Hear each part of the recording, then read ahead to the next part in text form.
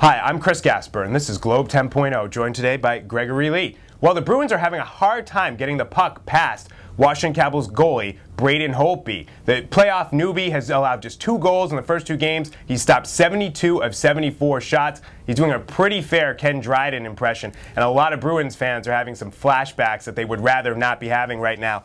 Greg, what do the Bruins have to do to get to Holtby and get the puck past him and, and, score a little bit more here. Well, they need to get back to Bruins style of hockey. What we saw in the first two games, especially in game two, what we saw was the, the Bruins got into a game where they kept playing back and forth hockey, kept going up and back, up and down the ice. They need to stay in, off, in an offensive zone, control the puck, and continue to put pressure on this kid uh, because he's he, he's seeing this. He saw 74 shots, but it's not the type of shots that have him on constant barrage. And the Bruins are not being patient enough uh, to get those those goals. And also noticing in the first two lines, especially in game two, seeing Brad Marchand, you can see him missing just off, a little off on timing in terms of trying to get shots into the net, trying to get off rebounds. They're not they're not going to the net to try try to get you know shot. They're taking long yeah, shots. Yeah, Julien says they need some dirty. But they goals. need some they dirty. They got to get bit. people in front of the net to try to tip some, um, to redirect some shots into the net. But they're not doing it. No one's going there and being aggressive in front of the net. I tell you, I, I think they could use Tyler Seguin here. I think they really could.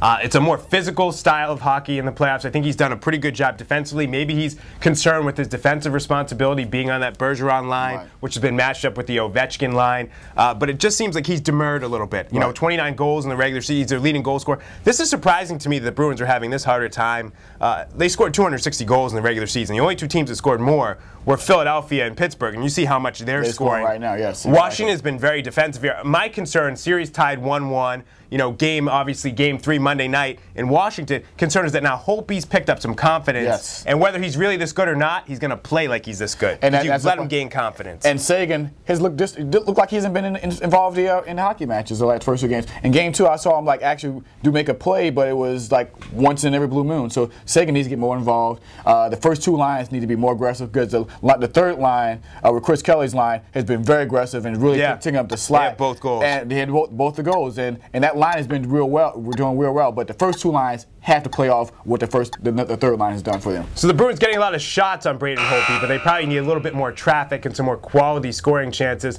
As David Krejci said after game two, two goals in two games isn't going to cut it.